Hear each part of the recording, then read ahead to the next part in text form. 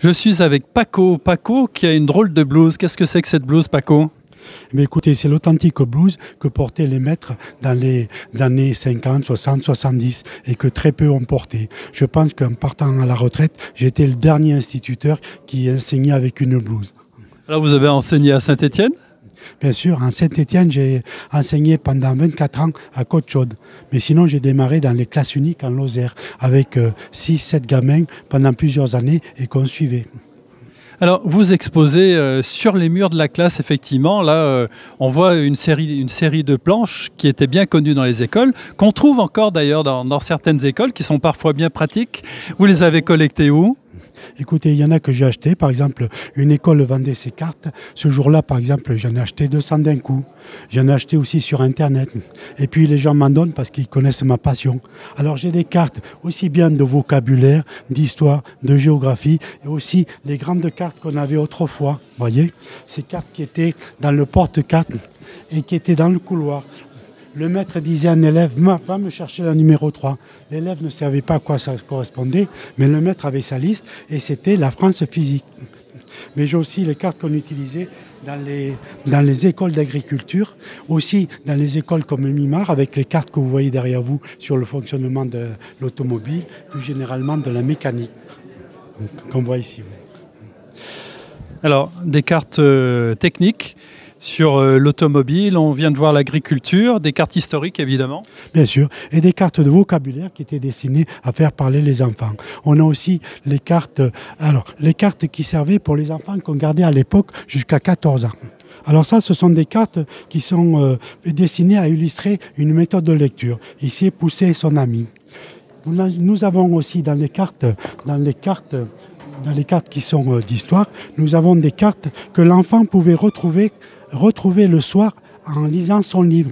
Voici, voici ce, qu'il avait sur son livre et la carte qui correspond, elle est là, elle est ici là-bas. C'est toujours euh, utilisé, mais de manière différente sur, les écrans. Mais vous pensez que d'avoir des grandes images comme ça, c'était efficace pour l'apprentissage? Oui, parce que ces grandes images, d'abord, elles étaient vues de tous. Et puis, et euh, le maître prenait le temps de bien expliquer. Il y avait un arrêt sur l'image, on peut dire. C'était une autre époque. C'était une, époque où n'existait pas euh, le, les tableaux numériques, où n'existaient pas tous ces moyens-là. En fait, il y avait très peu de moyens audiovisuels. Et ces cartes en faisaient partie. Et on s'en est servi pendant les années 60, 70, jusqu'à un petit peu à 80. Moi, je m'en suis beaucoup servi, surtout les cartes de vocabulaire. Mais évidemment, certaines cartes maintenant sont désuètes. Lorsqu'on prend cette carte, par exemple. Les Gaulois? C'est les Gaulois? On se croirait dans un village du Dahomey avec des huttes. On sait maintenant à présent, à la lumière des dernières euh, trouvailles archéologiques, que les, Gaulois construisaient en dur.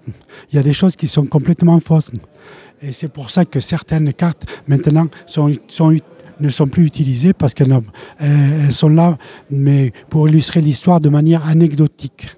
Il y en a encore certaines qu'on peut utiliser. Moi, je me rappelle très bien d'une carte que j'avais dans mon établissement avec les châteaux forts. Ça passionnait les gamins. On voyait euh, l'attaque du château fort. Ça vous dit quelque chose, ça? Je l'ai, j'en ai deux, parce que je l'ai dans la version MDI, la maison des instituteurs, et la maison Rossignol. Et moi, pour moi, c'était une des plus belles d'histoire, et je l'ai à la maison d'encadrer. D'encadrer non pas dans un cadre en bois, mais dans un très beau cadre noir euh, prévu à cet effet.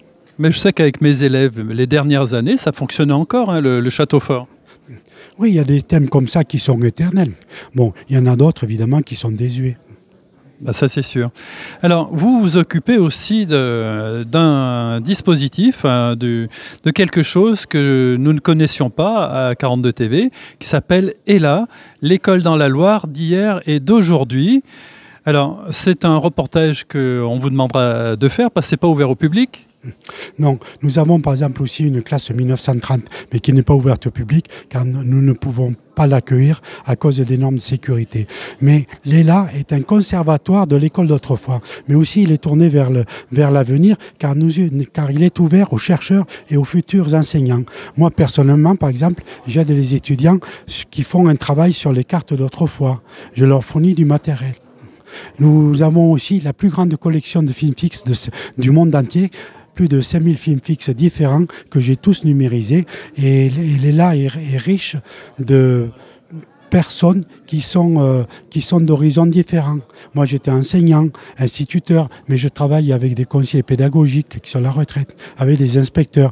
Et chacun, tous, nous contribuons en apportant un regard différent à la, à la tenue de, de, de ce conservatoire qui est tourné vers l'avenir. Alors les films fixes, pour euh, nos téléspectateurs, ils ne savent pas forcément ce que c'est. C'était des diapos finalement qui étaient euh, assemblés voilà, les films fixes étaient les uns à la suite des autres. En fait, le film fixe était une, pellicule de 35 mm, mais contrairement au négatif euh, d'autrefois, euh, ils, étaient, ils étaient en positif et on les, on, les, on les projetait avec un appareil, un projecteur qui devait être situé loin de l'écran, à 5-6 mètres. Tous ces films fixes ont été numérisés à 1600 dpi, de manière à ce qu'on puisse se projeter sur un grand mur comme ça, sans qu'il y ait une perte de résolution. Merci Paco pour tous ces éléments. Et puis bravo pour votre accent. Hein. C'est un accent d'où? Ça, c'est la Lozère. La Lozère, c'est le midi moins le quart. Vous n'avez jamais réussi à le perdre? Jamais. Pourtant, ça fait longtemps, euh, 30 ans à peu près que je suis à Saint-Étienne. Et comme je dis, le premier jour où j'ai découvert les élèves de Saint-Étienne dans ma classe, j'ai fait une leçon. Donc, on, on, a commencé à engager la conversation avec les gamins. Je leur ai demandé de me raconter ce qu'ils avaient fait pendant le week-end. Et il y en a un qui, qui me dit ben, Hier, on est allé au bar à. Mais je vous assure que je n'ai rien compris à ce qu'il me racontait. C'était trop nouveau pour moi, l'accent, tous ces mots-là. Et depuis, j'apprécie beaucoup cette langue-là et je fais chaque année sur le plateau de Saint-Jean-les-Malifaux une dictée gaga qui réunit entre 20 et 30 personnes, où, nous avons des textes, non pas du style dicté de Malarmé, mais des textes qui sont truffés de mots gaga. Et l'intérêt, c'est de passer un moment de convivialité et d'expliquer le sens de ces, ces expressions que je trouve qui me réjouissent. Merci Paco.